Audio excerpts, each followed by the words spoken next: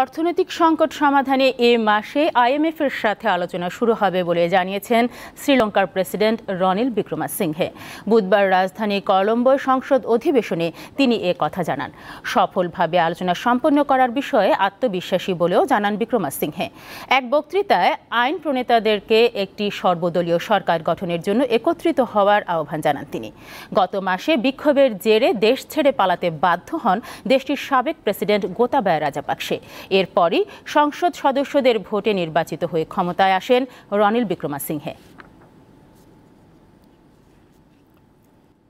অর্থনৈতিক সংকট সমাধানে এ মাসে আইএমএফ এর সাথে আলোচনা শুরু হবে বলে জানিয়েছেন শ্রীলঙ্কার প্রেসিডেন্ট রনিল বিক্রমাসিংহে।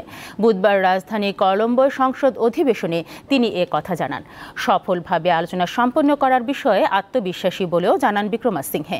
এক বক্তৃতায় আইন প্রণেতাদেরকে একটি সর্বদলীয় সরকার গঠনের জন্য একত্রিত হওয়ার আহ্বান জানান তিনি। গত মাসে বিক্ষোভের জেরে দেশ ছেড়ে পালাতে বাধ্য হন দেশটির সাবেক প্রেসিডেন্ট গোতাবায়া রাজাপাকসে।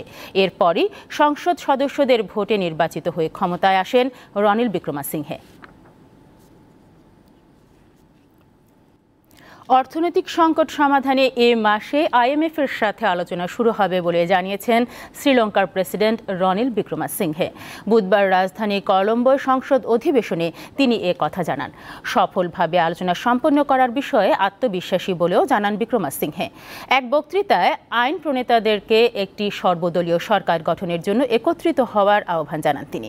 গত মাসে বিক্ষোভের জেরে দেশ ছেড়ে পালাতে বাধ্য হন দেশটির সাবেক প্রেসিডেন্ট গোতাবায় রাজাপাকসে। এরপরই সংসদ সদস্যদের ভোটে নির্বাচিত হয়ে ক্ষমতায় আসেন রনিল বিক্রমাসিংহে। অর্থনৈতিক সংকট সমাধানে এ মাসে আইএমএফ এর সাথে আলোচনা শুরু হবে বলে জানিয়েছেন শ্রীলঙ্কার প্রেসিডেন্ট রনিল বিক্রমাসিংহে। বুধবার রাজধানী কলম্বোর সংসদ অধিবেশনে তিনি এ কথা জানান। সফলভাবে আলোচনা সম্পন্ন করার বিষয়ে আত্মবিশ্বাসী বলেও জানান বিক্রমাসিংহে। এক বক্তৃতায় আইন প্রণেতাদেরকে একটি সর্বদলীয় সরকার গঠনের জন্য একত্রিত হওয়ার আহ্বান জানান তিনি। গত মাসে বিক্ষোভের জেরে দেশ ছেড়ে পালাতে বাধ্য হন দেশটির সাবেক প্রেসিডেন্ট গোতাবায় রাজাপাকসে। এরপরই সংসদ সদস্যদের ভোটে নির্বাচিত হয়ে ক্ষমতায় আসেন রনিল বিক্রমাসিংহে। অর্থনৈতিক সংকট সমাধানে এ মাসে আইএমএফ এর সাথে আলোচনা শুরু হবে বলে জানিয়েছেন শ্রীলঙ্কার প্রেসিডেন্ট রনিল বিক্রমাসিংহে। বুধবার রাজধানী কলম্বোর সংসদ অধিবেশনে তিনি এ কথা জানান।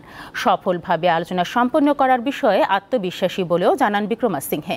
এক বক্তৃতায় আইন প্রণেতাদেরকে একটি সর্বদলীয় সরকার গঠনের জন্য একত্রিত হওয়ার আহ্বান জানান তিনি।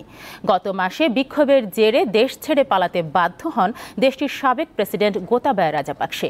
এরপরই সংসদ সদস্যদের ভোটে নির্বাচিত হয়ে ক্ষমতায় আসেন রনিল বিক্রমাসিংহে।